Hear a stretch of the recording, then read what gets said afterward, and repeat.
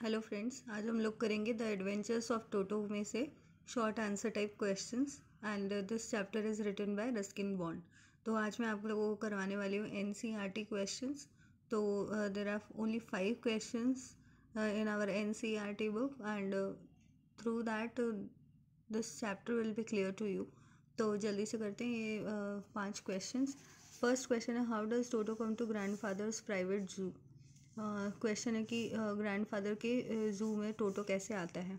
Grandfather loved animals तो सबसे पहली बात तो आपको ये लिख देनी है कि ग्रैंडफादर लव्ड एनिमल्स इसलिए वो क्या है? बहुत सारे जो पेट्स हैं, बहुत सारे एनिमल्स हैं, उनको अपने घर में रखते हैं। One day he saw this attractive monkey with a tonga driver और एक दिन क्या होता है? ये इस अट्रैक्टिव मंकी टोटो को कहाँ पर देखते हैं? With a tonga driver the monkey was tied to a feeding trough and seemed out of place there और ग्रैंडफादर को ऐसा लगता है कि जो मंकी है वो आउट ऑफ़ प्लेस है मतलब उसे वहाँ नहीं होना चाहिए। और he was tied to a feeding trough एक खाने की एक कंटेनर है, उससे उसको बाँध रखा है। So he decided to buy Toto and bought him for five rupees इसलिए ग्रैंडफादर डिसाइड करते हैं कि वो टोटो को ख़रीदेंगे। और कितने रुपए में ख़रीदते हैं? फाइव रुपीज़ में। तो ये आपका हो गया first answer how does Toto come to grandfather's private zoo सबसे पहले बात आपको लिख देनी है कि ग्रैंड फादर लव्ड एनिमल्स फिर आपको लिखना है कि, he bought it from tonga driver tonga driver ने उसे कहाँ पर बाँध रखा था? He was tied to a feeding trough and most importantly जो टोटो था या जो मंकी था इट वॉज़ सीमिंग हिम और seeming to grandfather out of place that's why he decided to buy Toto and that's how he came to grandfather's private zoo now second question है Toto was a pretty monkey in what sense is he pretty अब आपको टोटो की कुछ pretty होने के लिए आपको कुछ एग्जाम्पल्स बताने पड़ेंगे कि कैसे वो एक प्रिटी मंकी था। Toto had bright eyes sparkling with mischief वो बहुत शरारती मंकी था और उसकी आईज उस शरारत के कारण और ज़्यादा क्या हो जाती? स्पार्कलिंग और शाइनिंग हो जाती थी। पर्ली वाइट टीथ और उसके क्या है? पर्ल लाइक वाइट टीथ है उसके। Quick and wicked fingers and a gracious tail और उसकी क्या है? विग्ड फिंगर्स हैं। क्विक है, बहुत शार्प हैं, बहुत फ्यूरियस हैं, बहुत फास्ट हैं। And a gracious tail which served as a third hand और उसकी जो एक ग्रेशियस टेल है मंकीज़ की टेल जो होती है, वो उसकी, उनके लिए कैसे काम करती है? As a third hand the smile of Toto was cute and frightened early elderly Anglo Indian ladies और जो टोटो है, उसकी क्यूट स्माइल है और it was frightening to elderly elderly Anglo Indian ladies all together these qualities made him pretty सारी चीज़ें आपको लिखनी होंगी वहाँ पे कि कैसे उसकी स्पार्कलिंग आइज़ है, जो हमेशा मिसचीवियस लगती हैं उसकी आँखें। He has a pearly white teeth quick and white wicked wicked figures और उसकी कैसे एक ग्रेशियस टेल है which serves as a third hand और उसकी एक क्यूट स्माइल है। And he use to frighten elderly Anglo Indian ladies तो ये सारी चीज़ें आपको, उसकी क्वालिटीज़ आपको बतानी पड़ेंगी. That makes him a pretty one now question number three है how does Toto take a bath where has he learn to do this how does Toto almost boil himself alive बहुत सारे question है इसमें. आपको इन सारे question के answer देने पड़ेंगे. वन बाय वन जैसे जैसे क्वेश्चंस पूछे गए हैं वैसे वैसे आपको आंसर लिखना पड़ेगा।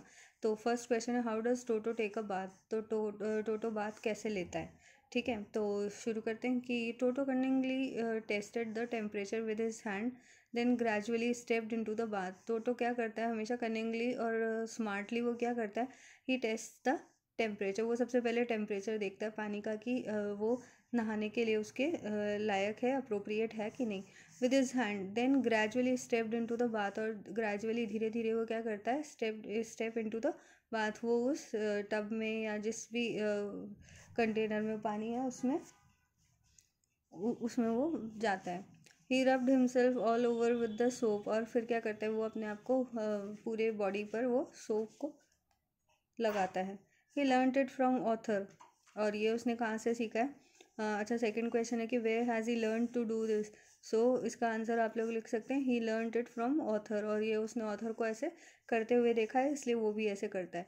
फिर how does Toto almost boil himself alive अब एक इंसिडेंट जो इस चैप्टर का बहुत इंपॉर्टेंट इंसिडेंट है तो कैसे वो ऑलमोस्ट अपने आप को बॉयल कर लेता है?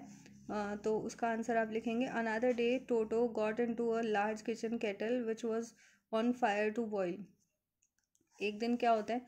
कि उनकी जो किचन है ऑथर की या ऑथर के ग्रैंडफादर की जो किचन है, उसमें एक बहुत बड़ी केटल फायर पर रखी हुई है फायर प्लेस पर है और वहाँ पर क्या हो रहा है, पानी गर्म हो रहा है। He enjoyed the warm water but when the water turn out to be hot he jump up and down तो क्या करता है वो? He enjoyed the warm water as usual पर धीरे धीरे क्या होता है वाटर गेट्स बॉइल्ड और जो टेम्परेचर है वो राइज हो जाता है, बढ़ जाता है।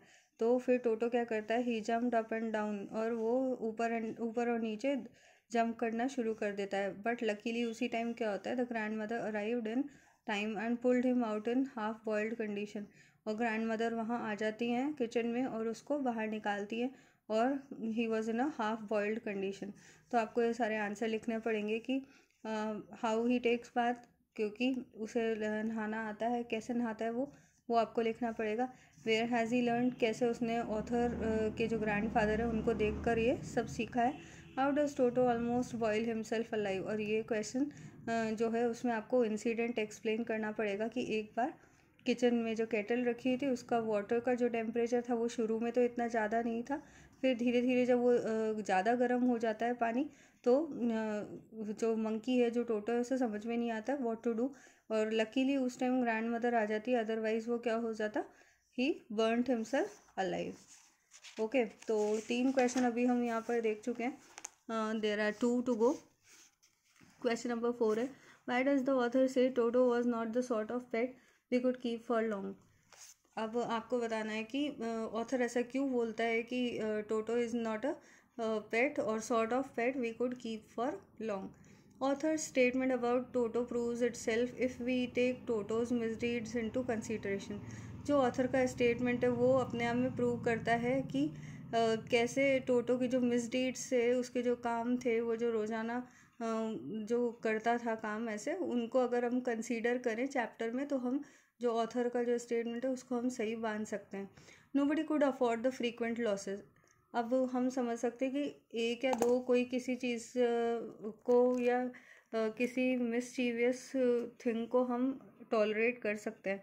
But not all the time तो अगर फ्रीक्वेंट लॉसेस किसी पेट के कारण हो रहा है तो nobody can can avoid it और neglect it he disturbed all other animals too और टोटो जो है वो सारे एनिमल्स को भी डिस्टर्ब करता है. Obviously Toto was not the sort of pet we could keep for long इसलिए ये यहाँ पर स्टेटमेंट राइट प्रूव हो रहा है uh, जो ऑथर कह रहे हैं कि Toto is not a sort of pet we could keep for long now last question है why does author why does grandfather take Toto to Saharanpur and how why does the ticket collector insist on calling Toto a dog okay so दो question है कि why does grandfather take father take Toto to Saharanpur and how तो grand father Toto को सहारनपुर क्यों लेके जाते हैं?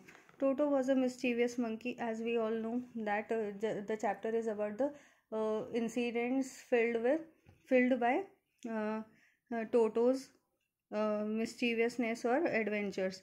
तो ये पूरा चैप्टर ही इसीलिए एडवेंचरस है क्योंकि जो ये मंकी है, उसने बहुत सारी क्या हैं, बहुत सारी मिस्टीवियस करी हैं और एग्जाम्पल्स हैं इसमें।